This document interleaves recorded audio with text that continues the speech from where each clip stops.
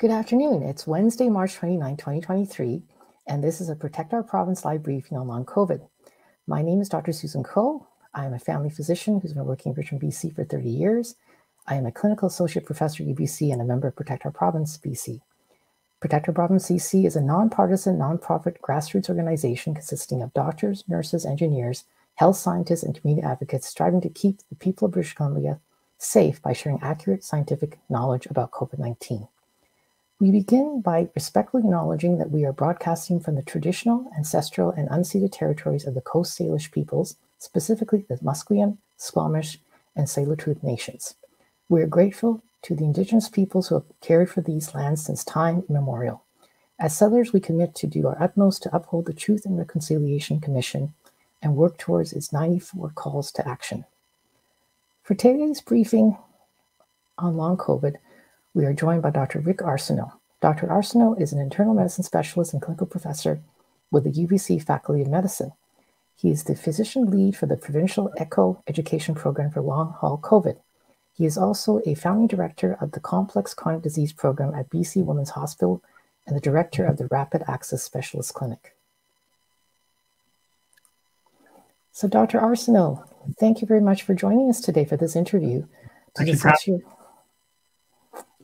Yes, um, we are really happy to see you. Now, the last time I saw you 32 years ago, we were both much younger, and you were the chief resident in internal medicine at St. Paul's, and I was a fourth year medical student. But uh, since then, you've been ha- you've made such a huge contribution to the people of BC by starting the complex chronic disease clinic, the rapid access specialist programs, as, as well as now being the physician lead of the ECHO educational program on COVID. So, what prompted you to specialize in these very challenging fields? I think it has to do with the fact that I've always liked working with patients, even when I didn't have all the answers. And I see myself as a, a partner in the patient's journey rather than having to be the expert. That gives me lots of leeway to work with patients uh, rather than having to know everything. When did you recognize the need to look after people with long COVID? Well, I recognized it be, at the first few weeks of the pandemic because many of us predicted that we would see this.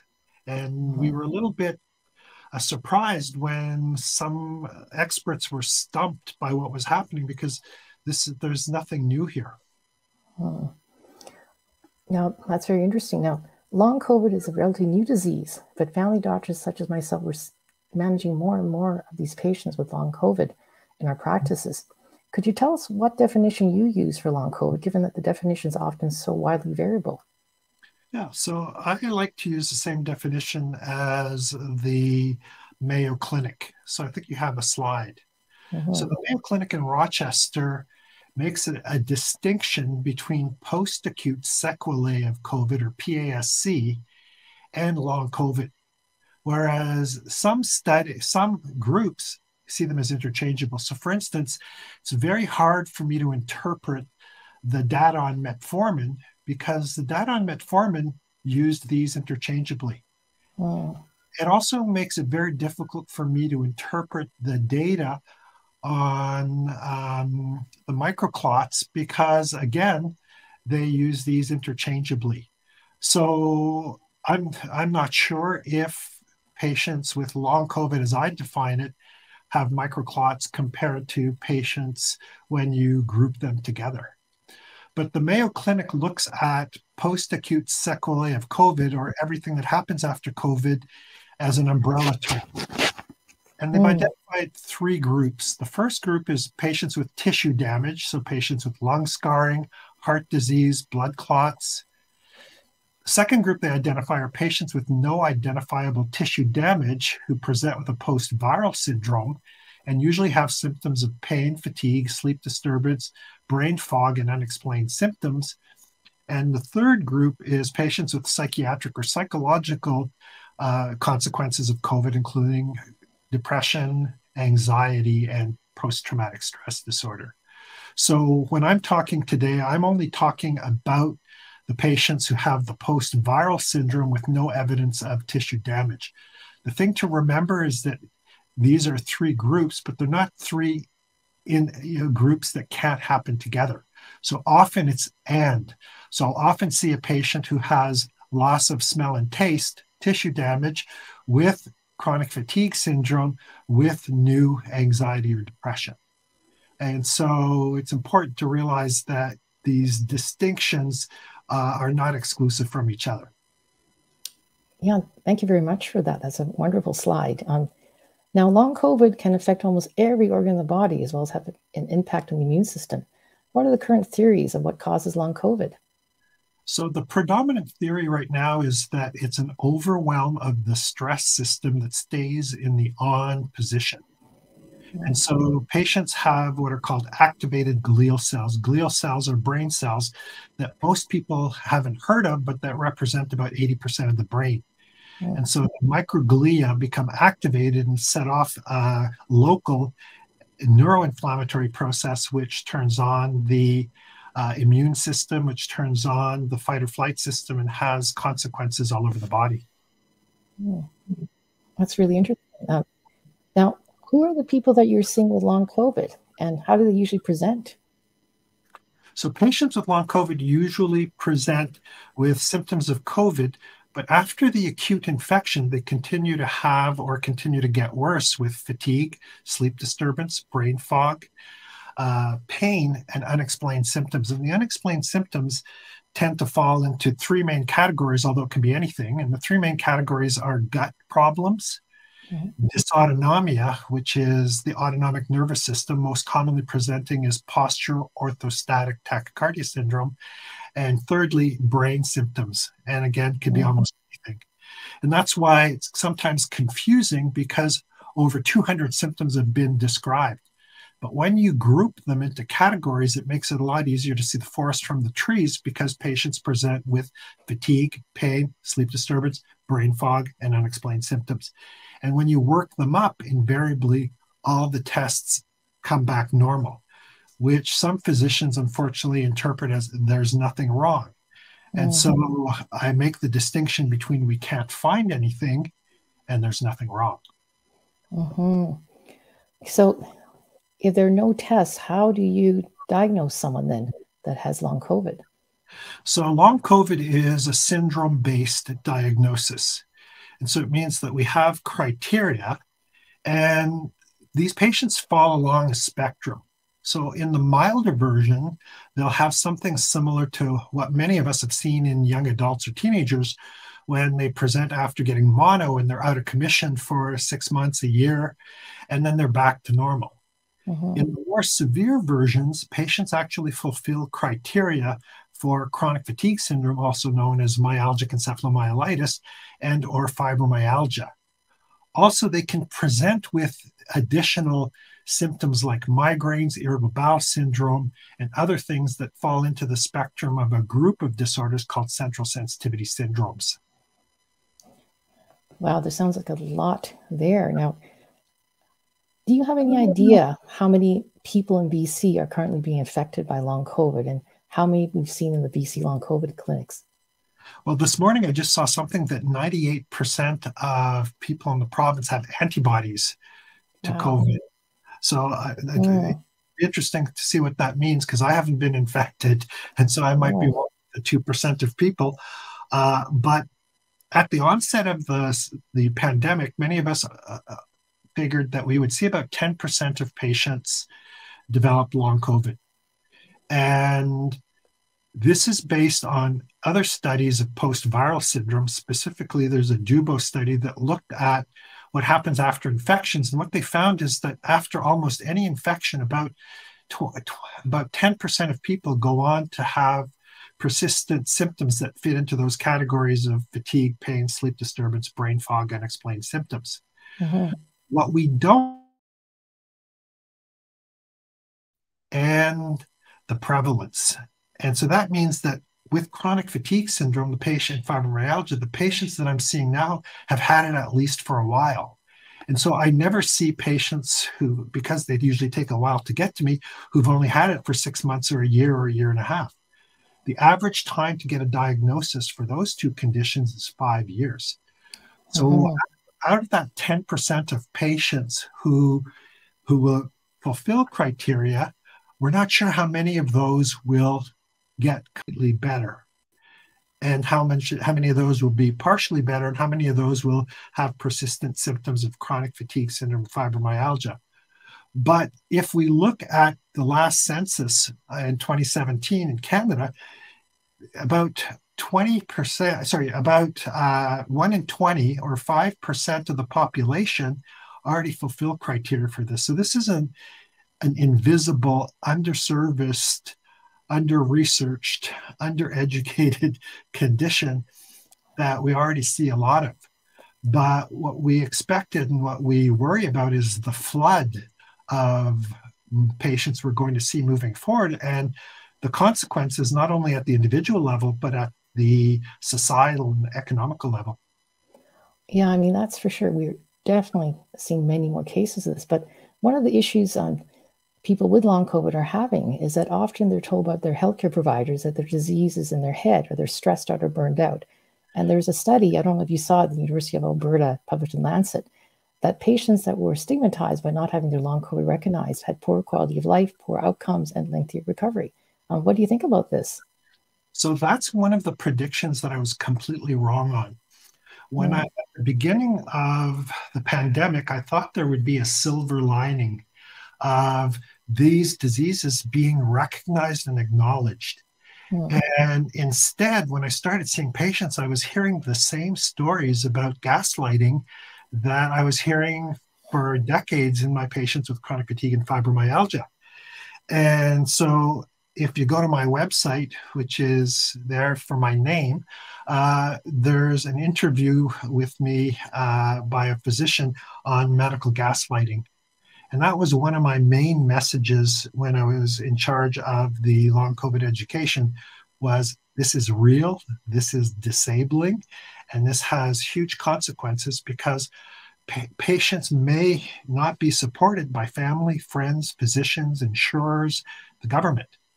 So, for anybody who's interested, uh, at the same website, there's a link uh, on the first page to a YouTube presentation that I did called Family and Friends, which delves into these conditions but has two main agendas. The first agenda is to legitimize this as a real disease.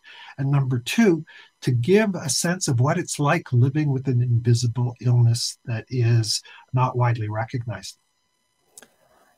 I mean, this disease is, you know, as you said, going to have huge impacts in our society. But, you know, is there anything people can do to protect themselves from developing long COVID? Well, I think the best thing that they can do are a couple of things. The first is, you know, people are over COVID, but COVID is not over you. And so I still behave the same way that I did two years ago. And so I think it's nice to hope that COVID is over, but it's not. The second thing is immunization. And the third thing is if you're in one of the risk groups, getting Paxlovid uh, as soon as you can. In terms of mm-hmm. in terms of metformin, I'm not sure that the data is robust enough for us to act on it yet. So, I mean, you probably read the article in JAMA last week, March 23rd, that found that Paxlovid, you mentioned Paxlovid, reduced the risk of long COVID in people that were unvaccinated, vaccinated, and boosted, and in people with primary SARS-CoV-2 infection and reinfection by 26%. But in BC, currently, to qualify for Paxlovid, you have to be immunocompromised, indigenous, and vaccinated, or 70 years old with three chronic medical conditions. What do you think about this? Well, I think that's an error in policy, unfortunately. Um, you know, the the initial guidelines in the province were really to do two things to prevent hospitalization to prevent death but they weren't looking at pre- preventing morbidity And so, for patients who already have chronic fatigue syndrome or patients who already have COVID, getting it a second time might mean a new lower level of function. So, those patients are at high risk of further morbidity. And I think preventing long COVID in the way that I've defined it is just as important as preventing the tissue damage, preventing hospitalization, and preventing um, preventing death. In fact, we're probably going to have a bigger impact on society by preventing the morbidity than we are by preventing the hospitalization and death. Yeah, I totally agree. And now, are there any treatments besides Paxlovid currently for long COVID?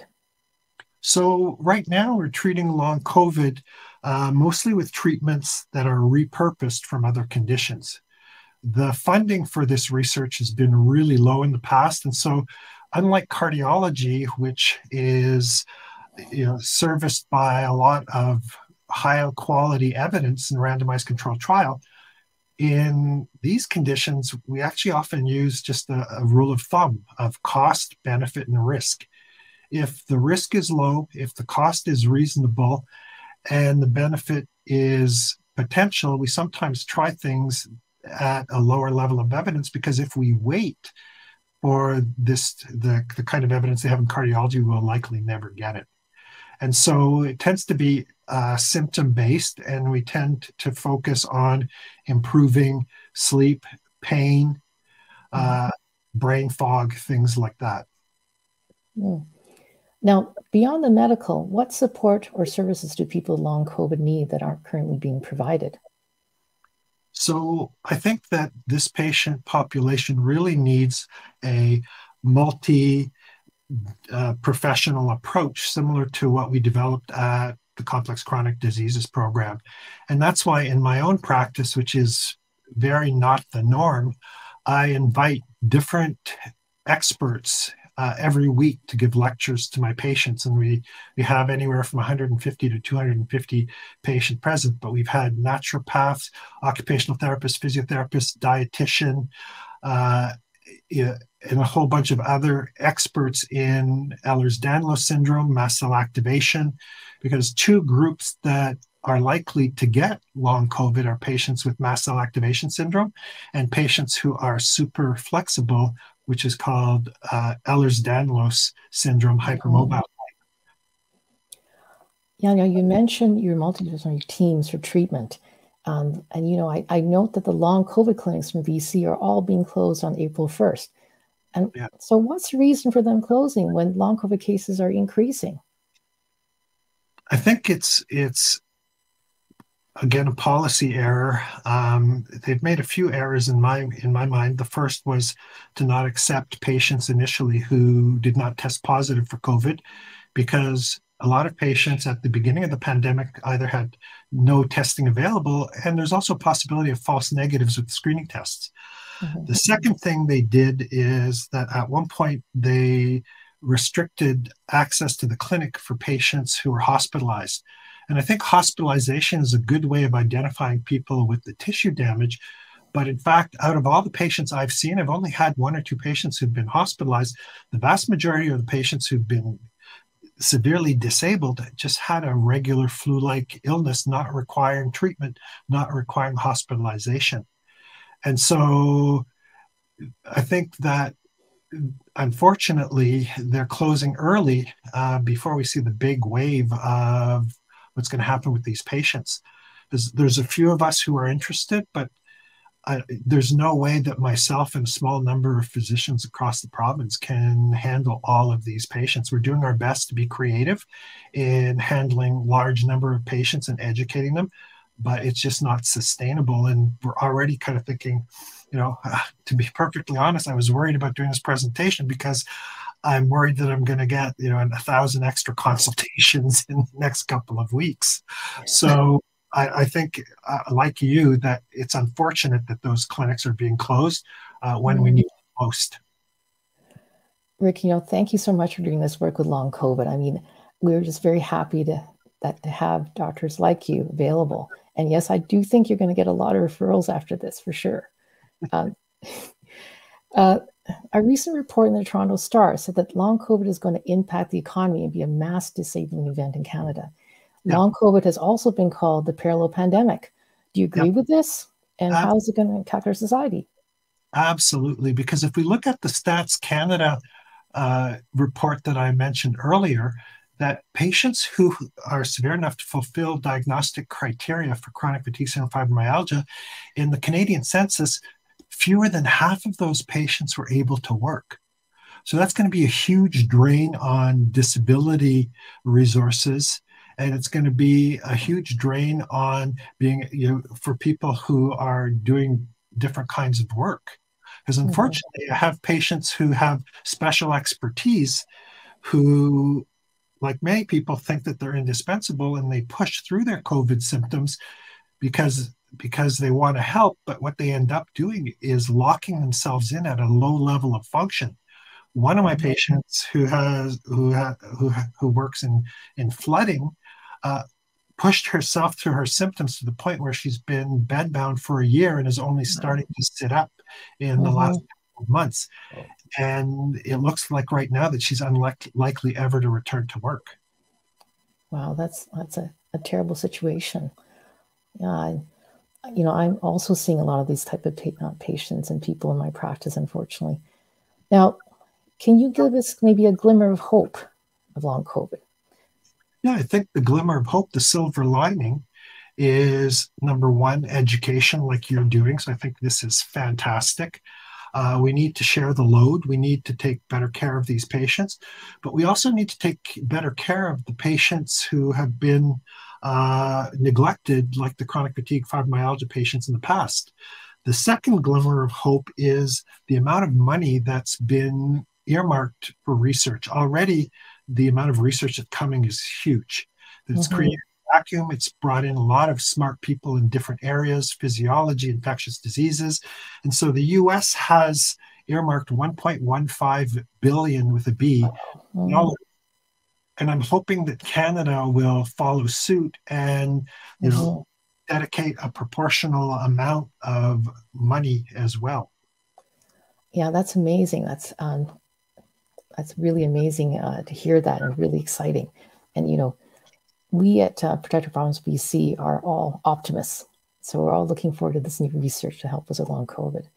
Um, is there anything else you'd like to add that we haven't covered so far? Um, not that I can think of. I'm happy to answer any questions. Oh, okay, that's fantastic. So I think there are probably some. Uh, here we go. How can we effectively communicate about long COVID to local children, uh, local clinicians in our provinces? I hear misunderstandings from clinicians, and I would love to know how we can help clinicians stay up to date. Yeah, and so the, you know I was in charge of long COVID education a couple of years ago, and unfortunately we didn't reach as many as many doctors as I had hoped. But uh, and so I'm not sure what's happening now at the long COVID clinics, but I think that rather than being a one-off, that this should be a um, an ongoing series of education programs for doctors. They should be recorded. They should be attached to CME credits to provide mm-hmm. incentive. Um, so I'm hoping that that there'll be a, more interest in also developing what I call a toolkit because family physicians just feel overwhelmed because of the complexity and they need some tools to help them manage these patients. And so when I had organized the long COVID, I had organized it into uh, the primary care toolkit as a concept. You know, Ric, um, I'm involved with the divisions of family practice in Richmond, and there's divisions um, all across the province. I think this would be an excellent way to uh, put out your toolkit. So maybe you and I can talk about that later but yeah. I think that would be an excellent way. Yeah, um, and I'm also happy to do grand rounds or provincial grand rounds, mm-hmm. uh, um, and help in any way that I can. Yeah, I think most of the hospitals still do ground. I think they're back to doing some grand rounds again. The educational center that that'd be a great idea. And let's see, we're going to wait for the next question. So, why do some people develop POTS after a COVID infection? So I mentioned earlier that dysautonomia or a problem with the autonomic or adrenaline nervous system is one of the common uh, unexplained symptoms in this patient population. And so I've seen lots of POTS, postural orthostatic tachycardia syndrome. For those people who are watching, it's a fancy way of saying postural means going from lying to standing. Orthostatic means the same thing. So I think it's just to have a fancy acronym. Tachycardia, fast heart rate. So these are people who go from lying to standing and get dizzy and sometimes even faint because as their heart rate increases, the amount of blood flow that the heart pushes out to the brain decreases. And so the, this can be very disabling. It's easy to diagnose and it's easy to treat, which is why we need to get the education out there. 90% of my patients get away with just salt. And we're talking mm-hmm. a lot of salt, nine grams a day. And only about 10% require medication. To make a diagnosis, some doctors are you're trying to get patients sent for tilt table testing. And I don't think that this patient population needs tilt table testing. I think they get away easily with NASA lean test. In fact, the NASA lean test is more sensitive and more specific for POTS. The only time you would really require a tilt table is if you're trying to rule out other conditions as well as POTS that might be interacting. But if you're pretty sure this is POTS, the best thing to do is a NASA lean test, which the patient can do first thing in the morning for 10 minutes. And there's a handout on my website on the NASA lean test. There's a handout on the salt treatment. And on the handout, there's a bunch of links for educational material for patients. I think you've answered most of the next question, but what's the prognosis for young people diagnosed with POTS? So there's a couple things that we know that young people are more likely to get better, that people who have early disease are likely to get better, and that people who have less severe disease are likely to get better. Uh, this is not research based, this is just from my observations over several years.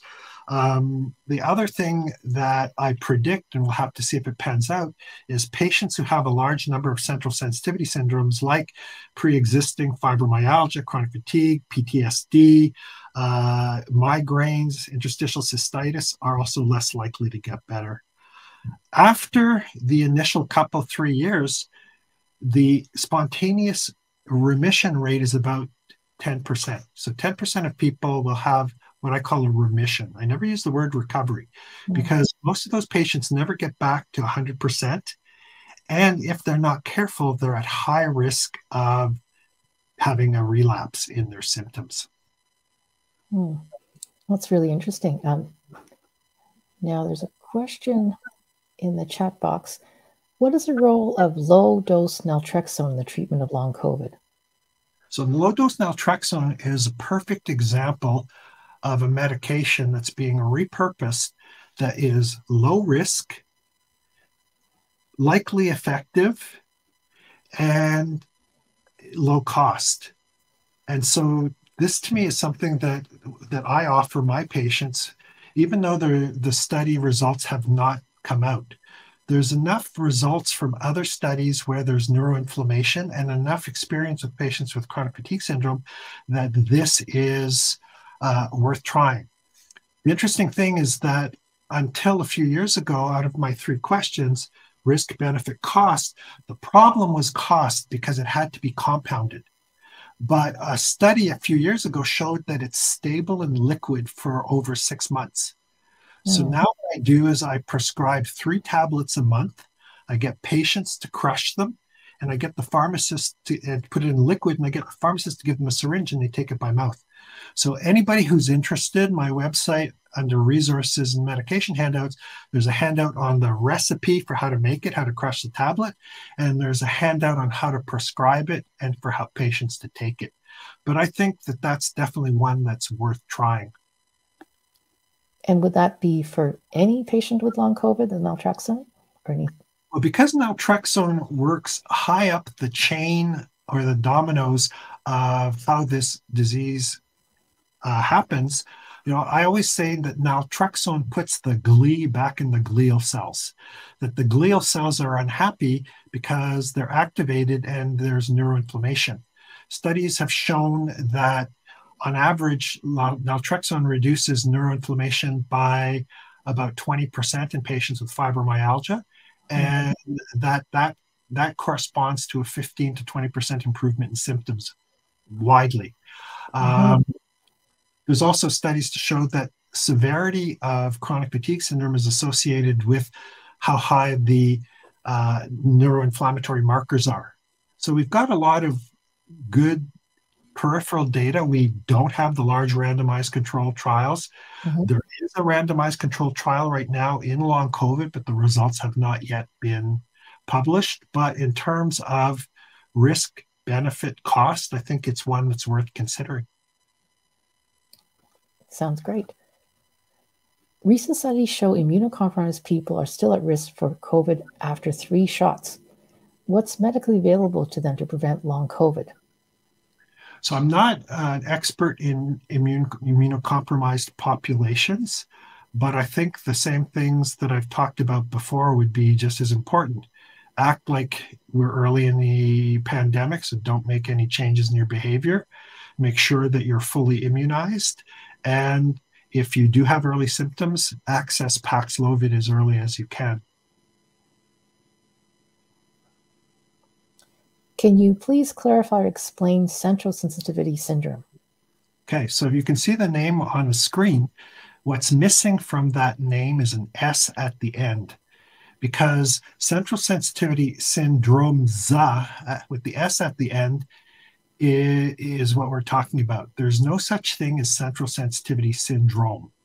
It's just an umbrella term. It's just a family name for conditions that run together that seemingly have central sensitivity syndrome as a common feature. Some people don't like the name, and it doesn't matter if you like or don't like the name because it's just the name. What's important is to know the cluster of conditions that run together. And the reason you want to know what they are is because they provide levers for extra treatment. So, for instance, if you have long COVID with IBS, we can treat the irritable bowel syndrome. If you have long COVID with migraines, we can treat the migraines. If you have long COVID with interstitial cystitis, urologists have treatment for that. So, mm-hmm. the, the family of conditions includes chronic fatigue syndrome, fibromyalgia, myofascial pain syndrome, tension headaches, migraines, irritable bowel syndrome, postural orthostatic tachycardia syndrome, central abdominal pain syndrome, irritable larynx syndrome, et cetera, et cetera, et cetera. And these are all conditions that because the problem is not at a level that you can see under the microscope or that you can see on scans, uh, often has been termed functional or psychiatric or somatoform, which is, I think, incorrect. Physicians have a short memory.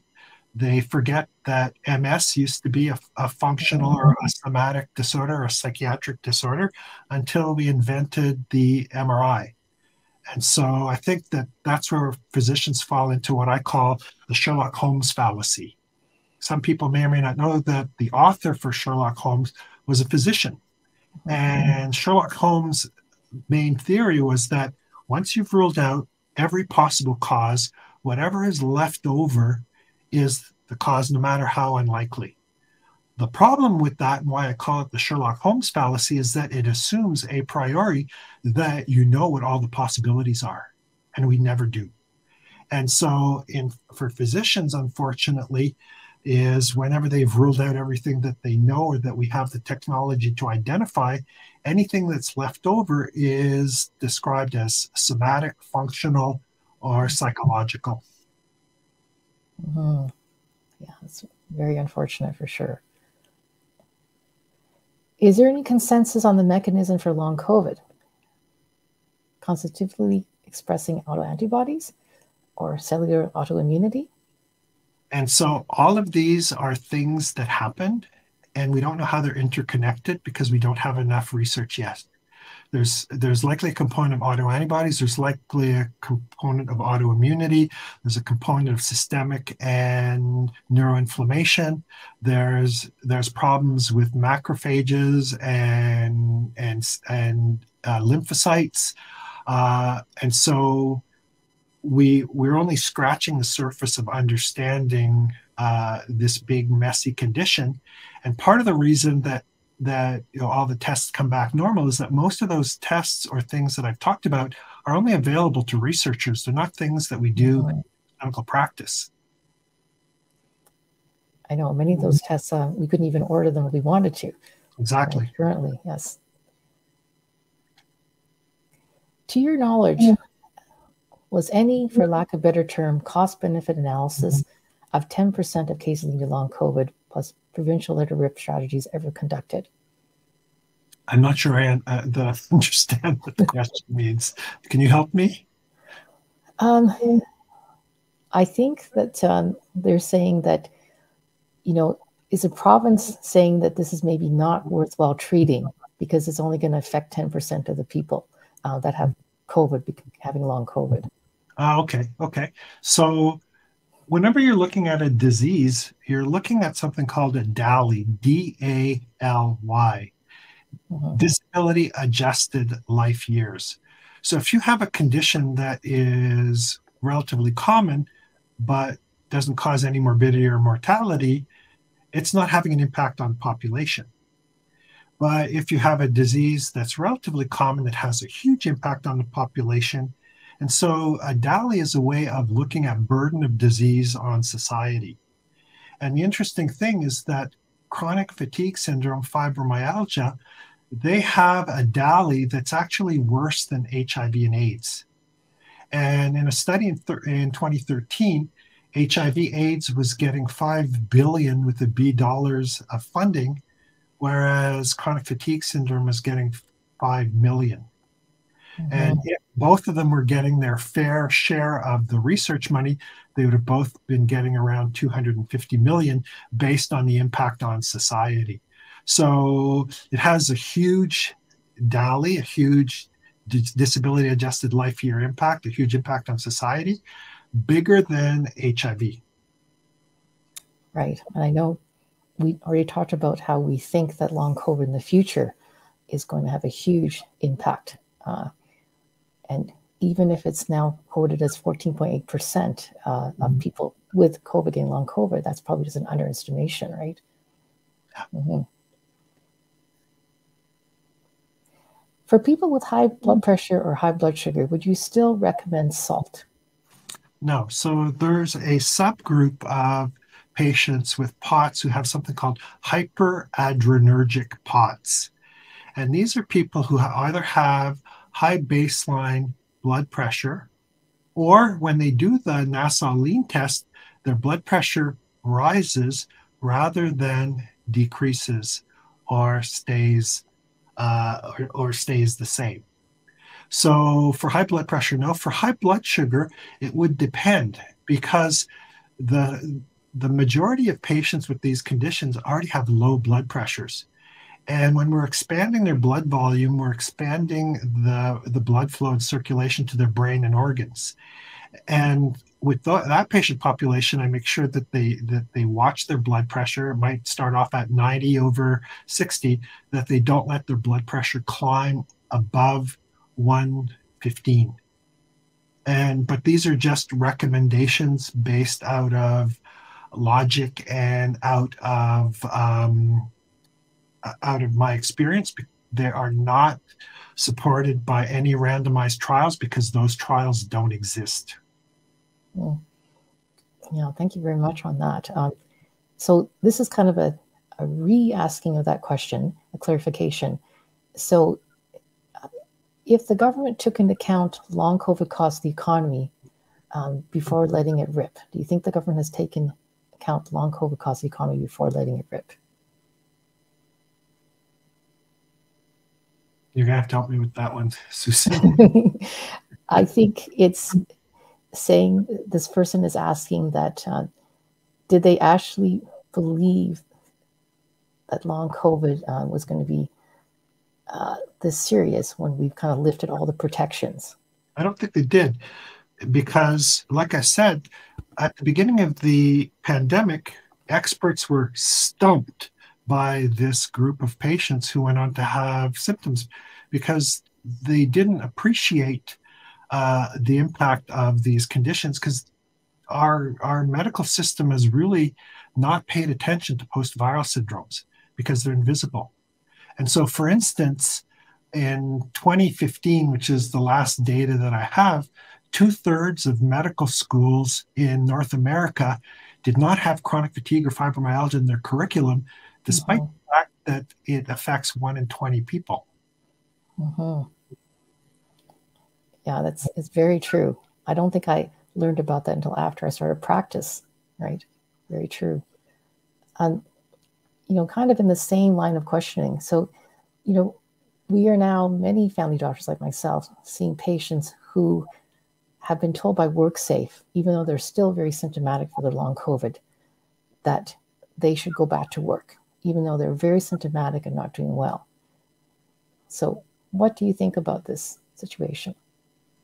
So, what we know about you know one of the the apart from this is real the only other message that was important for me when i was in charge of long covid education was don't push patients because what we do know is when you push patients through symptoms you lock them into a low level of function i'm going to say something very controversial but i'm okay with saying it is that WorkSafe BC is an unethical organization because they have no accountability which means that in 33 years, every case of disability that I've been involved with, DTC, CPP, LTD, I've won. Every case of WorkSafe BC, I've lost. Oh. And so, five people with no medical experience can say, don't believe your doctor, and leave it at that with no recourse for patients. And hmm. so, what I'm hoping is that a nurse gets declined and that we're able to take it public so that she's declined for long covid and we make it public and we and we make people aware and we make them angry at the fact of how they're treating patients. The thing luckily that they've learned a little bit is they were pushing nurses back to work early now they're less they're doing it less so but their their focus. You know, I offered to participate uh, in a in a workshop that they were doing at UBC Education. They're doing a workshop on UBC Education that was getting your patients back to work. And yes. I said, hang on a sec. Can we also have a uh, thing? Maybe your patient shouldn't be going back to work. How to assess if your patient should be going back to work? Because one of the things that I hear when I see these patients is my family doctor pushed me back to work. My insurer pushed me back to work. Family doctors learned that the longer you've been off, the less likely you are to return, which is true. But maybe the less the reason you're less likely to return is you're disabled enough not to be able to return. And mm-hmm. so I think that there's too much emphasis on getting back to work as opposed to assessing. And so when I when I help patients with their long-term disability, the the main thing I say is when you're doing your gradual return to work, that you are not deconditioned. So a lockstep to where you kind of slowly get better. So that's not going to work. You're going back to work to assess how much you can do. Where is your ceiling? And so we're going to make you go up each step slowly, and we're going to stop when your disease pushes back. But that's not the the um, that's not the approach that disability takes. They are focused on work hardening, which we have lots of high quality data literature to show is harmful. Uh-huh. Yeah, I, I, I totally agree. And, you know, I also saw that educational session uh, that WorkSafe BC was giving, and I was very skeptical. I didn't attend it actually. Uh, you know, I think it's unfortunately uh, the way that WorkSafe is going these days. And actually, I, I after the session, I do have a case for you that uh, that nurse that you mentioned. We may have a case, so let's talk about that. Perfect. What test should a GP order to look at neurotransmitter markers? None. I can't even, they don't exist eh, for us to be able to do. And more importantly, even if they did exist, they don't guide diagnosis or treatment. And so some of those special tests that Susan and I were talking about are available privately. And I have mm-hmm. patients ask me, should I do natural killer cells? Should I do this or that or the other thing? And I say, no, because they're not biomarkers. They will not help solidify the diagnosis. And they're not used for guiding therapy. And mm-hmm. so they're interesting but they're not important. And so, unfortunately, we don't have any tests uh, to, to guide us. The reason you would do tests, and there's, uh, I'm going to put this on my website, it's not there yet, is what a basic workup should look like for this patient population. Because we developed this at BC Women's, and there's one thing that's clear with the Institute of Medicine report in 2015 that these conditions are not di- diagnoses of exclusion.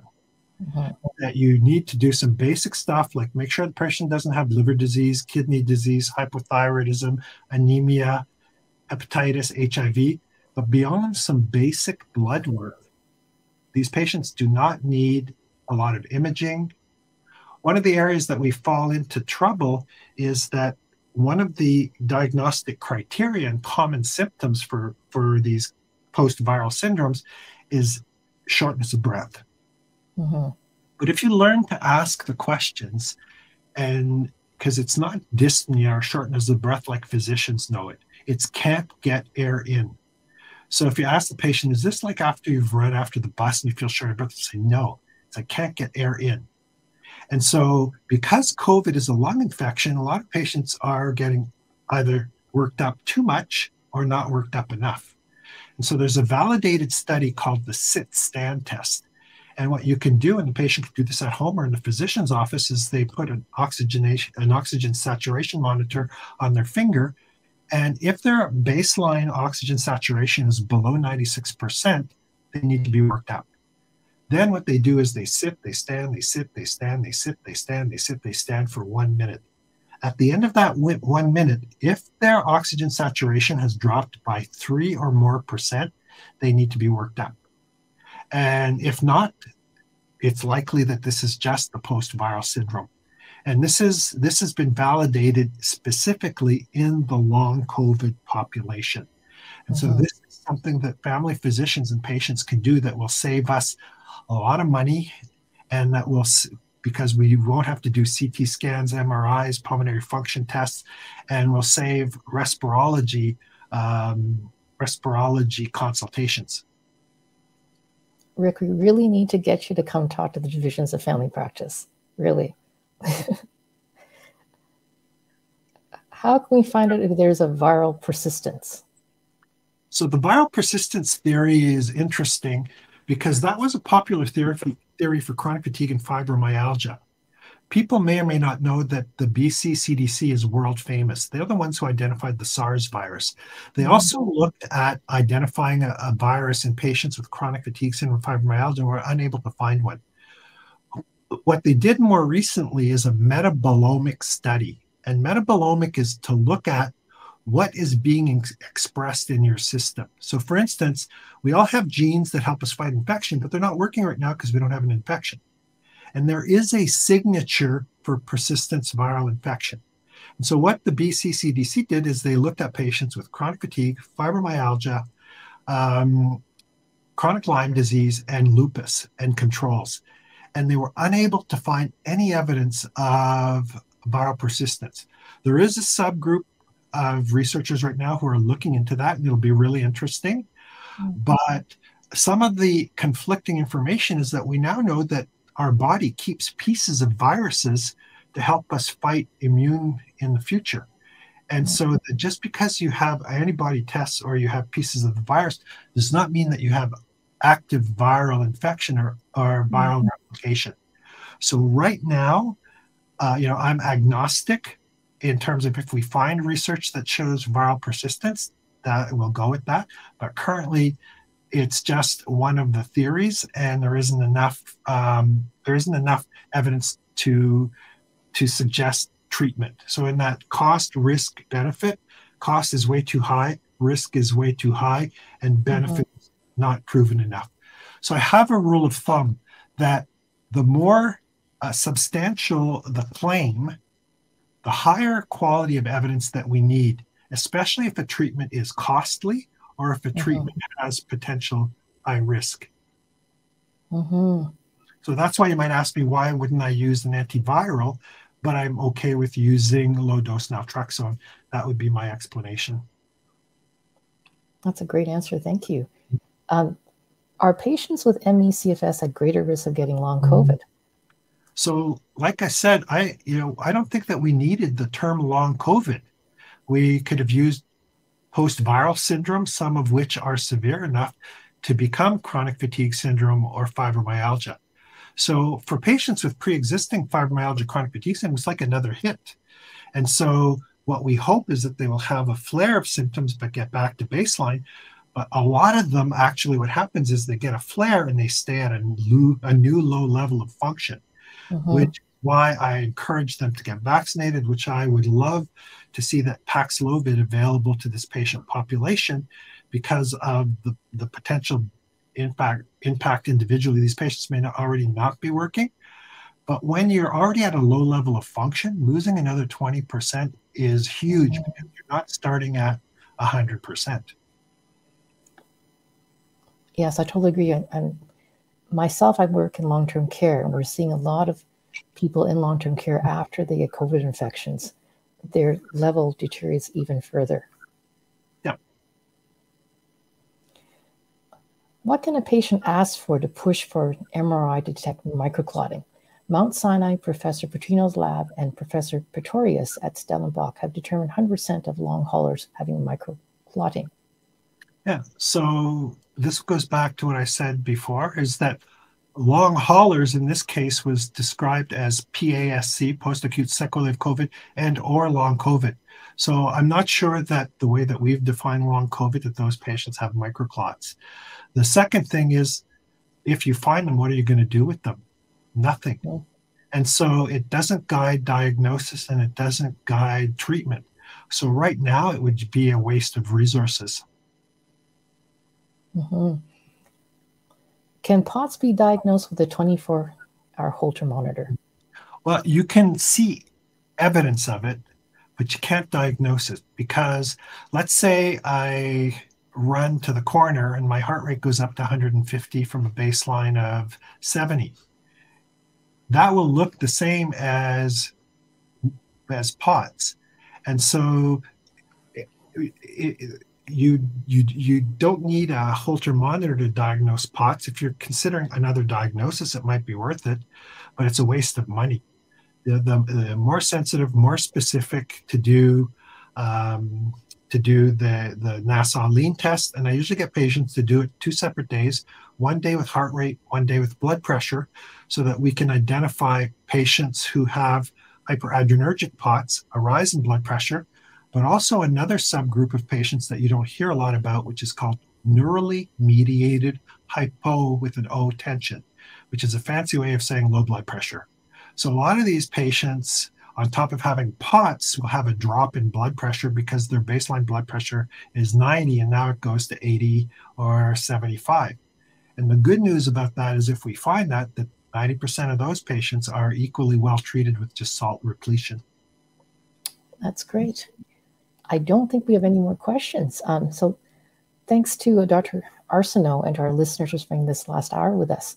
For those of you who would like more information about long COVID from Dr. Arseneau, please take a look at his website at drricarseneau.ca. For people struggling now with long COVID, we at Protect Our Province BC see you, we believe you, and we will keep advocating for you. We want to leave you with these wise words shared with us from Lynette, a person with long COVID you know, I think if if we had a, an epidemic of people with broken limbs and we saw people in plasters and crutches, it would be more evident. But there's a lot of disability that's happening, which is a hidden disability often, which is why I think it's really important to talk about it more and for people to understand what the consequences are and that will help to make better decisions. You know, I think if, if we had a, an epidemic of people with broken limbs and we saw people in plasters and crutches, it would be more evident. But there's So thank you very much, everyone. Um, before we leave, we wanted to announce a session from the Occupational Health Clinics for Ontario Workers this Friday, March 31st with Dr. Tara Moriarty on managing health and safety without public COVID protective measures. But thank you very much to our listeners again and to Dr. Ric Arseneau. or for coming today for this interview.